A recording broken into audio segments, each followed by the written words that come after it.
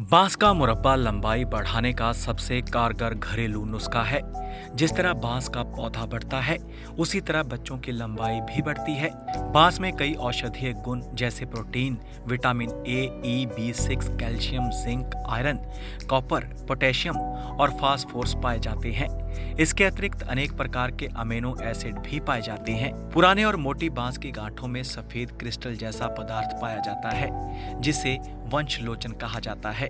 वंशलोचन एक प्राकृतिक कैल्शियम है, जो बच्चों की लंबाई बढ़ाने के लिए अति महत्वपूर्ण है। शारीरिक लंबाई बढ़ाने के लिए बाँस का प्रयोग किया जाता है। बाँस में कैल्शियम की काफ़ी मात्रा होने के कारण हड्डियाँ मज़बूत बनती हैं। बाँस के मुरब्बे का कुछ महीने सेवन करने से बच्चों के शारीरिक विकास और लंबाई में बहुत तेज़ी से इजाफा होता है।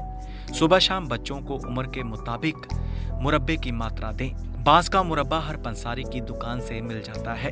इसे आप ऑनलाइन भी खरीद सकते हैं। शहद में बना बाँस का मुरब्बा और भी गुणकारी माना जाता है। Bureau report, D five, channel Hindi.